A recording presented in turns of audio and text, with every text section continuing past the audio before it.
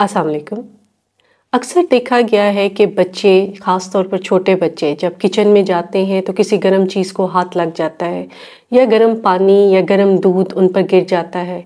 कोई चाय पी रहा हो और धक्का लग जाए तो भी बच्चे पर गिर जाता है। या आजकल के मौसम में जिस तरह हीटर का इस्तेमाल है तो उसको बच्चे हाथ लगा देते हैं। इसको हम बर्न इंजरी कहते हैं। आज हम बात करेंगे कि बर्न इंजरी क्या है। अगर बच्चे के हाथ या कुछ जल जाए तो as a parent as a caretaker अब आपने क्या करना है? और कौन से ऐसे काम हैं जो आपने बिल्कुल भी नहीं करने? बर्न इंजरी क्या है? बच्चे ख़ास तौर पर, यानी छोटे बच्चे, हर जगह पहुँच जाते हैं और तजस में हर चीज़ को छेड़ते हैं। अक्सर बच्चे जब बर्न इंजरी के साथ आते हैं तो बताया जाता है कि किचन में गर्म पानी या गर्म दूध गिर गया है, किसी गर्म बर्तन को हाथ लग गया है, कोई चाय पी रहा है और बच्चे पर गिर गया है हीटर चल रहा था और बच्चे का हाथ लग गया है। जब बच्चे के जिसम का कोई हिस्सा जल जाए तो इसे बर्न इंजरी कहा जाता है।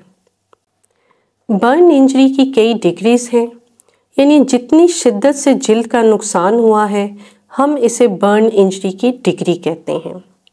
फ़र्स्ट डिग्री में जिल्द की ऊपर की सतह का नुकसान होता है, इसमें जिल्द सुर्ख हो जाती है। सेकेंड डिग्री में छाले पड़ जाते हैं, यानी ब्लिस्टर्स पड़ जाते हैं। थर्ड डिग्री का सखम बहुत गहरा है और शदीद किस्म की बर्न इंजरी है। अगर आपके बच्चे को बर्न इंजरी हुई है तो आपने एज ए फ़र्स्ट एड क्या करना है? सबसे पहले बच्चे को और अपने आप को उस जगह से दूर ले जाएँ, यानी सेफ़ एरिया में जाएँ, ताकि मज़ीद कोई नुकसान ना हो। अगर बच्चे ने बर्न वाली जगह के पास कोई ज्वेलरी या घड़ी पहनी हुई है तो उसको उतार दें। बर्न वाली जगह के इर्द गिर्द कोई कपड़ा है तो उतार दें। लेकिन अगर कोई कपड़ा जिल्द को चिपका हुआ है तो उसको बिल्कुल नहीं छेड़ना, उसके इर्द गिर्द का कपड़ा काट दें या उतार दें। चलते हुए टैप वाटर के नीचे बच्चे का हाथ या टांग या बर्न हुआ हुआ हिस्सा रखें। तकरीबन 10 से 20 मिनट। बहुत ज़्यादा ठंडा और बर्फ़ वाले पानी का हरगिज़ इस्तेमाल ना करें। टैप वाटर का इस्तेमाल करें। ध्यान रखें कि इतनी ही देर बच्चे का हाथ बाजू पानी के नीचे रखें कि बच्चे को ठंड ना लगे। बर्न हुई जिल्द पर कोई घरेलू टोटके नहीं लगाने। जैसे कि टूथपेस्ट, पेट्रोलियम जेली, गरम घी, मक्खन, पाउडर वगैरह। कुछ नहीं लगाना। अगर कोई एंटीबायोटिक क्रीम है तो वो आप लगा सकते हैं। ऐसे काम जो आपने बिल्कुल नहीं करने।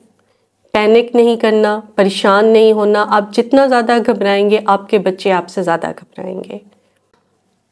कोई घरेलू चीज़ें टोटके नहीं लगाने। ये फ़ायदे के बजाय नुकसान पहुंचाती हैं। टूथपेस्ट बिल्कुल नहीं लगानी।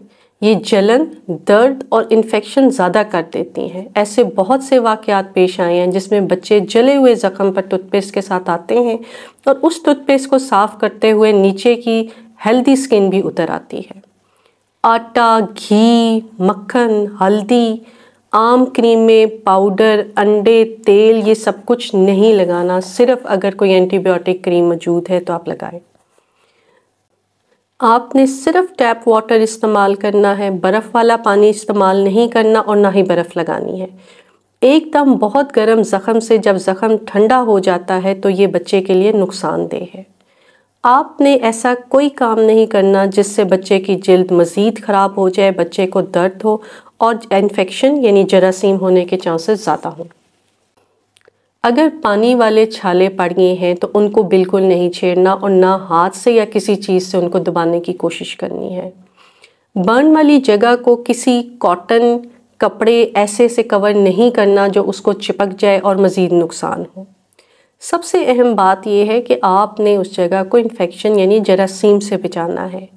हो सके तो प्लास्टिक क्लियर बैग यूज़ कर लें प्लास्टिक क्लिंग फ़ाइल यूज़ कर लें उसमें आप बच्चे के हाथ को ढीला से करके, यानी लूज़ करके लपेट दें, ताकि उसको कोई इन्फेक्शन ना हो। टाइट कवर नहीं करना, क्योंकि जले हुए हिस्से में स्वेलिंग हो सकती है।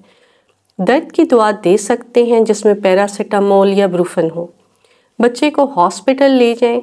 डॉक्टर आपके बच्चे के बर्न को देखेगा, उसकी डिग्री देखेगा, शिद्दत देखते हुए दवाई और क्रीम यानी इलाज तजवीज़ करेगा। आप as a parent caretaker घर में भी एहतियात करें। जब आप चाय पी रहे हों तो अपने बच्चे को ना उठाएँ। गर्म पानी, गर्म दूध और गर्म बर्तन की एहतियात करें। स्त्री से एहतियात करें।